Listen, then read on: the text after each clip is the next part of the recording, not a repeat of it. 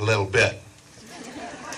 And then she kind of considered that. Hmm, okay. And then Michelle said, yeah, maybe we could work in an episode where I play, because I play too. And then Amber said, yeah, and I play too.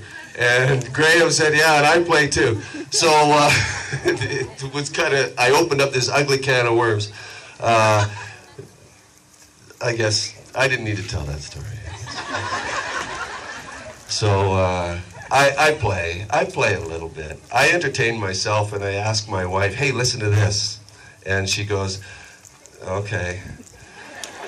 And I play it and I screw it up and then, uh, yeah. Okay. See ya.